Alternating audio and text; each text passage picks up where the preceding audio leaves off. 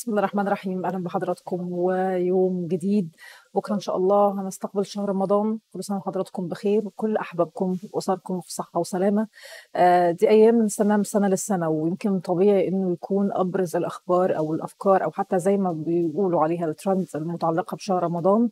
آه، هتكون كلها عن رمضان بالتأكيد. يعني المصريين على جوجل يمكن لو مسكنا جوجل لوحده بيدوروا على كل حاجة متعلقة بالشهر الفضيل آه عايزين نستقرأ كده سريعا أهم الحاجات اللي بيبحث عنها المصريين على جوجل وإحنا قلنا إن كلها حاجات متعلقة برمضان ده مبدئيا. آه تصدر المشهد قوي فكرة الأدعية يعني الأدعية بكل أشكالها. آه دعاء دخول شهر رمضان. وبالتأكيد الوقت ده بيستعد فيه يعني العالم أجمع المسلمين في العالم أجمع لصيام هذا الشهر وفكرة الاجتهاد في العبادة. آه لقينا إنه أكتر الأدعية انتشارا هو دعاء دخول شهر رمضان زي ما قلنا. دي يعني من الأدعية اللي بيفضل ترددها في هذا التوقيت. ف يعني إيه رأيكم نقول شوية أدعية كده نفتكرها سويا؟ ويمكن زي ما بنقول هي دي المنتشر أو الناس بتتناقلها وبترددها على آه، جميع وسائل التواصل الاجتماعي. آه، يعني في البداية دعاء دخول شهر رمضان اللهم انفعني فيه بما علمتني وعلمني ما ينفعني وزدني علما. اللهم اهدني فيه وسددني اللهم إني أسألك فيه من الخير كله عاجله وآجله. ما علمت منه وما لم أعلم وأعوذ بك من الشر كله عاجله وآجله. ما علمت منه وما لم أعلم. آه الرسول عليه الصلاة والسلام أيضا كان بيحرص على ترديد هذا الدعاء آه مع اقتراب شهر رمضان. ألا وهو؟ اللهم بلغنا رمضان وارزقنا توبة ترضيك واجعل لنا نصيبا من رحمتك واجعلنا من الصائمين الذاكرين وممن يفوزون. يمكن في بعض الأدعية اللي يعني الجميع بيحرص عليها في هذه الفترة.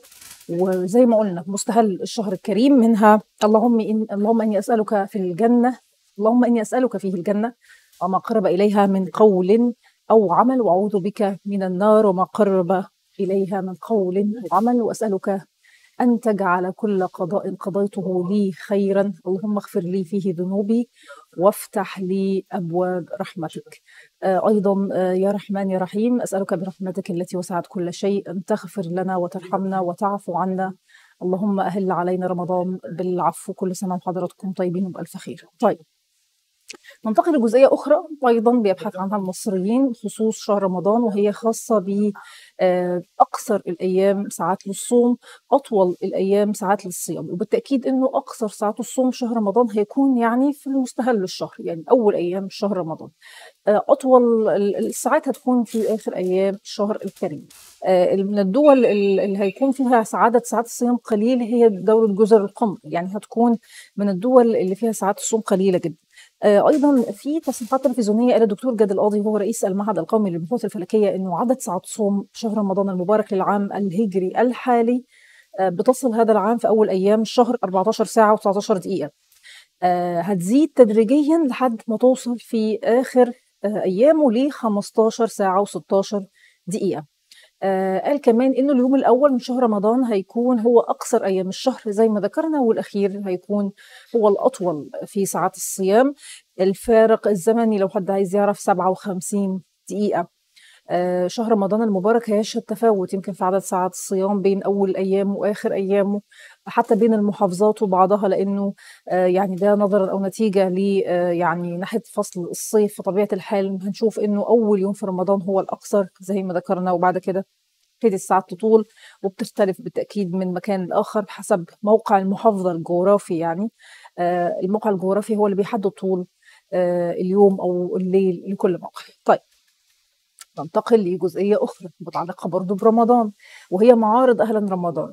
آه المهندس عادل عبد العزيز هو العضو المنتدب للشركة العامة لتجارة الجملة قال إنه معارض أهلا رمضان وصل عددها لأكثر من 180 معرض على مستوى الجمهورية.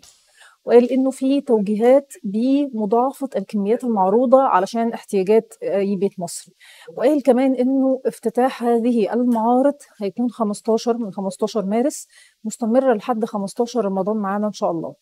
آه تصل التخفيضات ل 25% ده بيبين إنه في فكرة التعاون الواضح جدا بين التموين والتجارة الداخلية واتحاد حتى كمان الغرف التجارية. أرقام المبيعات وضحت إنه يعني اقبال كبير على طبعا بالتأكيد هذه المعارض. يعني في تقرير كده يومي بالأرقام بيعرض الأرقام الفعليه للمبيعات في هذه المعارض يوميا واللي بالمناسبة بتزيد. طيب آخر حاجة معانا قبل ما نختم مع حضراتكم الضوابط المحددة لأداء الصلوات في المساجد خلال شهر رمضان. نقطة مهمة جدا وعايزين نأكد عليها. آه، اللجنة العليا لإدارة أزمة الأوبئة والجوائح الصحية أصدرت قرار بأنه بيسمح خلال شهر رمضان السنة دي إن شاء الله بأداء درس العصر آه، خاطرة التراويح في المساجد الكبرى. طبعا بالتأكيد ده وفقا للضوابط اللي بتقررها وزارة الأوقاف مع الالتزام بكافة التدابير الاحترازية آه، مع الالتزام بكافة الاحتياطات الصحية المقررة.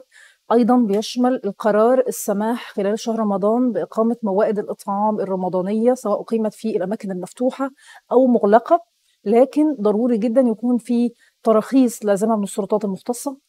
أيضا بيسمح بفتح آه، دور المناسبات لإقامة أفراح أو أي عزاء أو ما يمثلها من مناسبات سواء ده في الدور الملحقة بدور العبادة أو غيرها. بيسمح كمان إقامة أفراح أو احتفالات أو حتى أي اجتماعات آه، أي مناسبة في أماكن مغلقة أو مفتوحة أو المفتوحة الفندقية والسياحية. برضو اللي حاصلة على شهادة السلامه الصحية من وزارة السياحة والأثار. ويمكن كانت اللجنة العليا لإدارة أزمة الأوبئة برئاسة الدكتور طبعا مصطفى مدبولي رئيس مجلس الوزراء اتخذت عدة قرارات بخصوص مواعيد غلق المحلات التجارية في شهر رمضان السنة دي. و... وده مهم جدا نقطة مهمة جدا لازم نأكد عليها لأن الناس كلها بتسأل عن المواعيد. آه، تم الموافقة على مد مواعيد غلق المحال والمطاعم والمقاهي في شهر رمضان. دي يعني حاجات الناس بتردد عليها كتير جدا.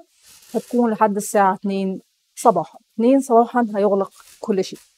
المواعيد العادية كانت 10 فبالتالي في رمضان يعني بيكون في مد حسب يعني آه، الأوضاع المتوافقة. مع شهر رمضان الناس بتسأل وكده فيكون 2 صباحا طيب كل سنة وحضراتكم طيبين. وصلنا كده لنهاية هذه الفقرة.